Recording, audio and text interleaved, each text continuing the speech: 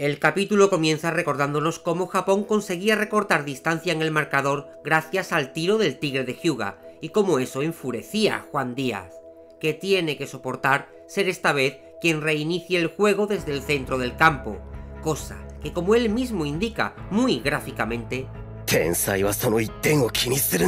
así que lo hace dispuesto a poner las cosas en su sitio, no se corta ni un poquito, y él solo comienza a destruir todas las líneas de Japón.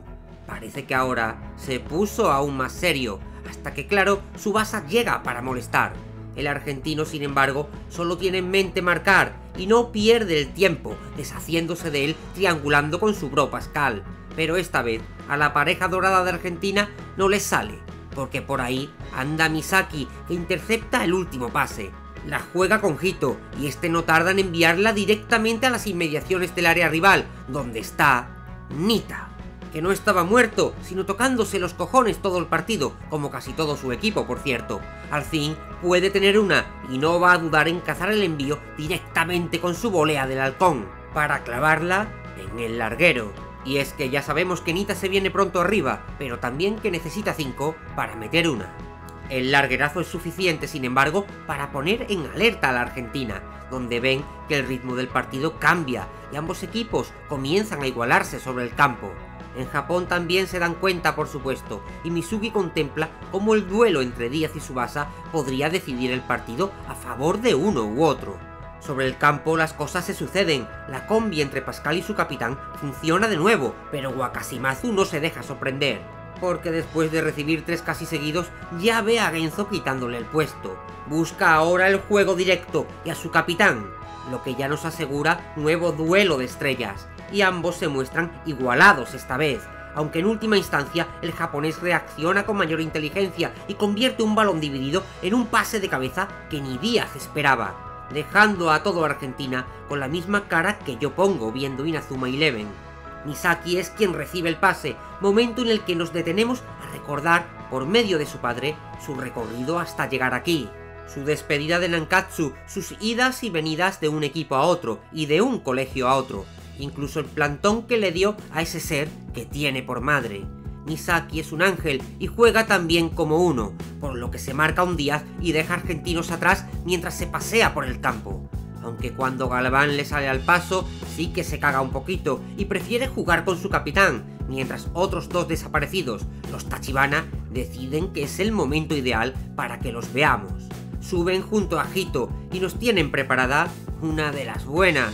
Subasa los ve llegar y les envía un buen balón, para que se marquen la chulada del partido, impulsados a la vez por las fuertes piernas del central, rematan a la vez un tiro gemelo que hace que el portero de Argentina dude que dude sobre si le echaron droga en el desayuno o esto está pasando realmente de verdad. Y cuando se percata de lo segundo, el balón impacta en su red. Gol de Japón, el segundo y vaya gol de los que hacen que la entrada merezca la pena. Lástima que Hito se pasó de fuerza y que los hermanos tengan esa manía de hacerlo todo juntos, incluso partirse las paletas y medio cuerpo tras impactar cada uno con uno de los palos.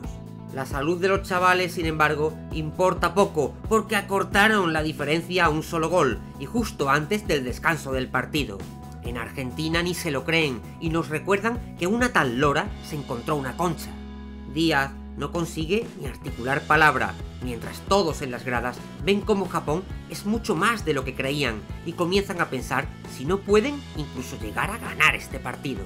Ya en los vestuarios, el entrenador Barbas podría optar al Eslan de enfado del año después de ver cómo a sus chicos les están remontando. Los acusa de pecho fríos y Díaz dependientes.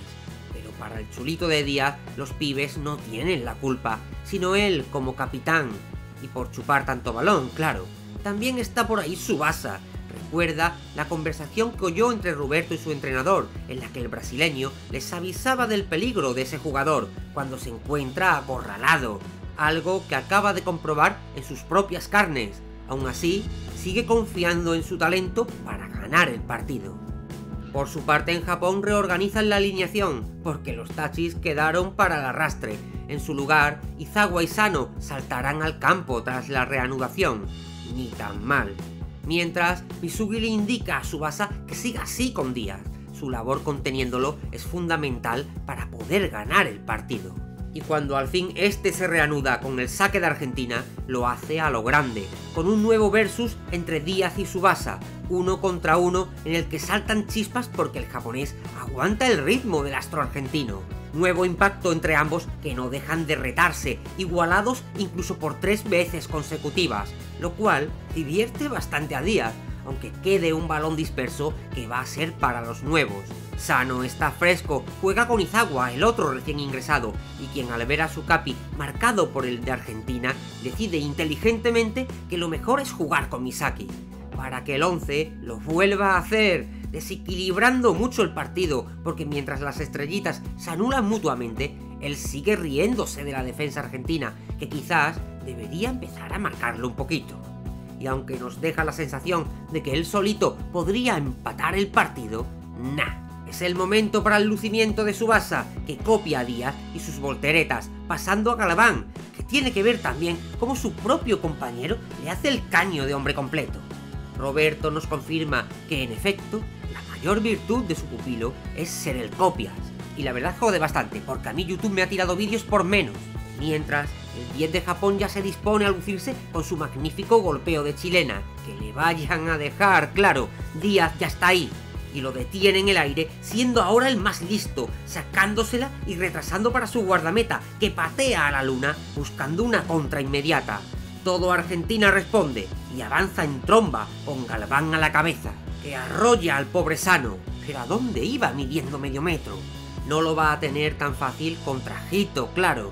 Ambos gigantes chocan, pero el balón continúa en los pies de Argentina, que juega ahora muy arriba tanto que hasta Hyuga bajó a defender, evitando que Pascal se la líe de nuevo, para alegría de estos dos, a los que tienen que hacerle el trabajo a los puntas. Aunque ahora cada despeje termina en pies de un suramericano, y en jugadores haciendo malabarismos. Pascal no sabe pasarla de normal, y se marca una chilena. Su pase es para el capitán, quien trata de enganchar un nuevo drive shot mientras su base lo defiende. Llega antes y lo consigue, esta vez, sin embargo, no va a conseguir sorprender a Ken, que lo atrapa, y aunque el balón amenaza por escapársele, un golpe de karate termina definitivamente con la ocasión. Aunque sabéis qué, acertasteis.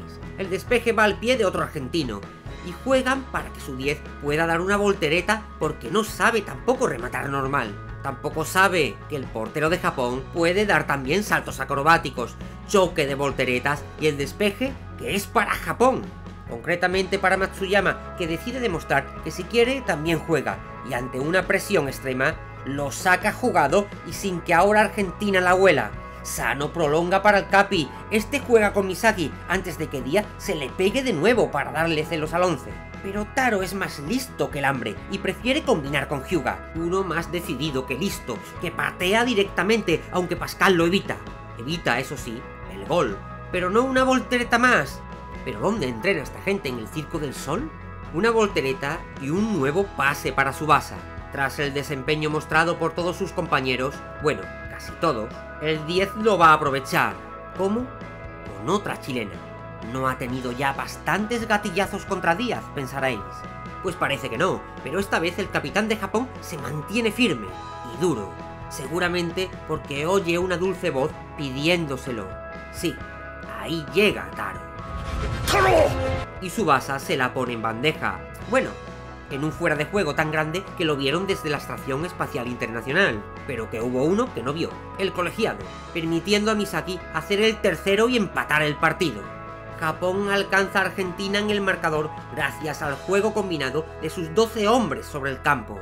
Y todo es felicidad entre unos chicos que no cesan de dar la sorpresa, gracias al poder de la amistad al amor por el balón y a un equipo arbitral más malo que una resaca de tequila.